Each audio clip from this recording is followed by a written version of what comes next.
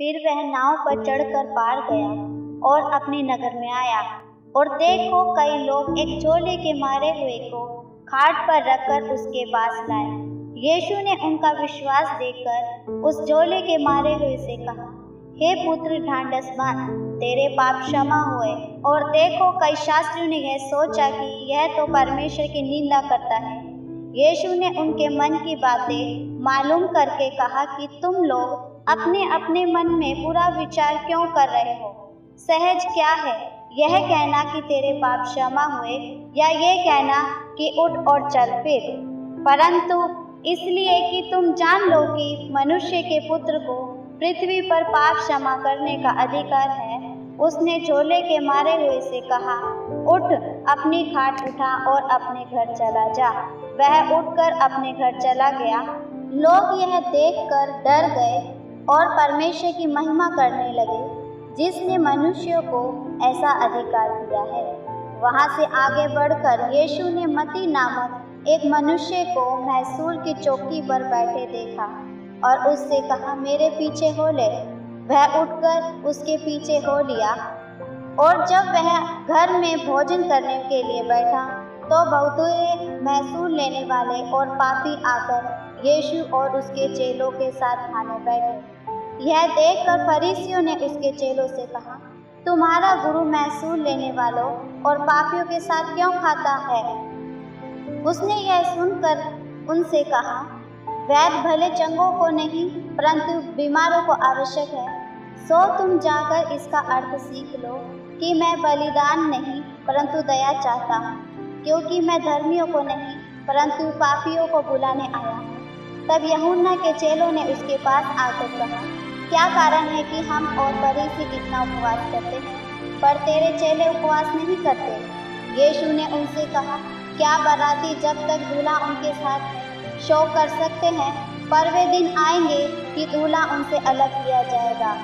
उस समय वे उपवास करेंगे। कोरे कपड़े का पैबंद पुराने पहरावन पर नहीं लगता, क्योंकि वह पैबंद पहरावन से और कुछ खींच लेता है और वह अधिक फट जाता है।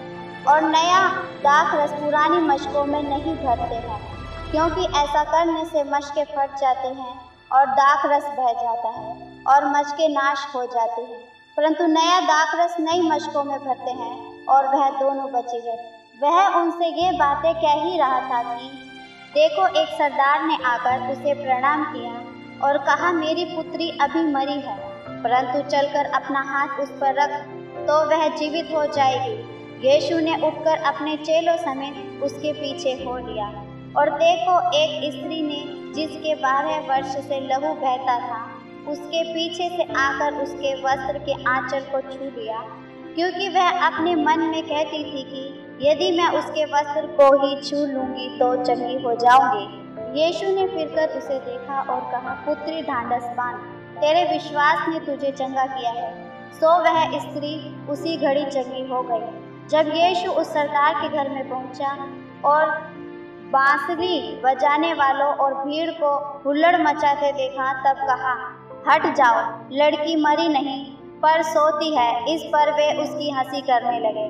परंतु जब भीड़ निकाल दी गई तो उसने भीतर जाकर लड़की का हाथ पकड़ा और वह जी उठी। और इस बात की चर्चा उस सारे प्रदेश में फैल गई। जब यीशु वहाँ से आगे बढ़ा तो दो अंधे उसके पीछे यह पुकारते हुए चले कि, हे दाऊद की संतान, हम पर दया कर। जब वह घर में पहुँचा तो वे अंधे उसके पास आए और यीशु ने उनसे कहा, क्या तुम्हें विश्वास है कि मैं यह कर सकता हूँ? उन्होंने उससे कहा हाँ प्रभु। तब उसने उनकी आँखें छूकर कहा, तुम्हारे विश्वास के अनुसार तुम्हारे लिए हो। और उनकी आँखें खुल गई और यीशु ने उन्हें चिताकर कहा कि, सावधान। कोई इस बात को न जाने। पर उन्होंने निकलकर सारे प्रदेश में उसका यश फैला दिया। जब वे बाहर जा रहे थे तो देखो, लोग एक गूँगे को जिसमें दुष्टात्मा थी, उसके पास लाए। और जब दुष्ट आत्मा निकाल दी गई तो गूँगा बोलने लगा और भीड़ ने अचंबा करके कहा कि इसराइल में ऐसा कभी नहीं देखा गया।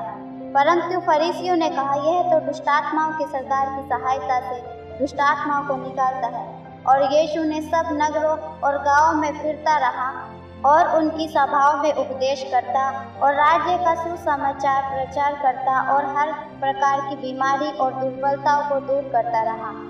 जब उसने भीड़ को देखा तो उसको लोगों पर तरस आया, क्योंकि वे उन भेड़ों की नाई जिनका कोई रखवाला न हो, व्याकुल और भटके हुए से थे। तब उसने अपने चेलों से कहा, पके खेत तो बहुत हैं पर मजदूर थोड़े हैं। इसलिए खेत के स्वामी से विनती करो कि वह अपने खेत काटने के लिए मजदूर भेज दे।